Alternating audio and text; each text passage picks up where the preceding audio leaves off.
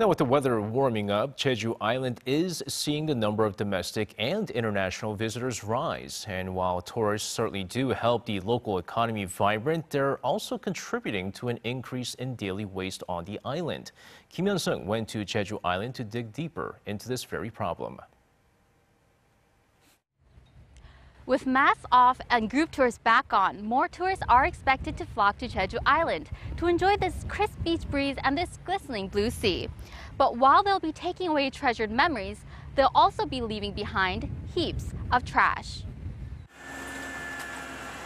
Jeju Island's local government estimates that more than 40% of daily waste is made up of trash discarded by tourists. Their research shows that there were more than 1,150 tons of trash a day in March last year. The amount of trash has increased by more than 15 tons per day compared to the year before. This makes sense considering the number of tourists also spiked that season with a steep 85.8% on-year increase. When COVID 19 first broke out and there was a steep decline in the number of tourists, we saw less daily trash.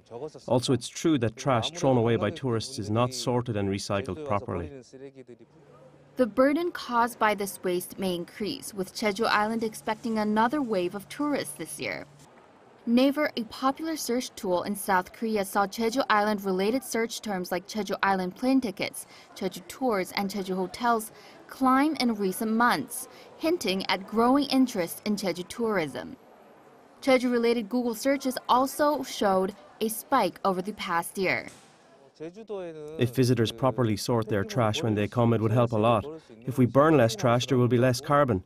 On Jeju Island, there are two places where you can sort your trash at a so called clean house and at recycling help centres.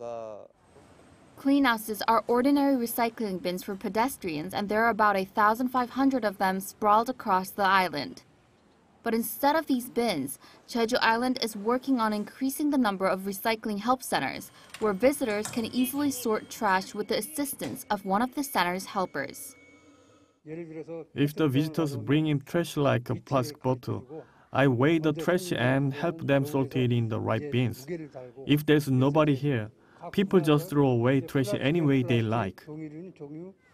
These centers are located close to popular tourist spots, so when tourists visit the island, they can look for one and leave their trail as crisp and clean as they found it.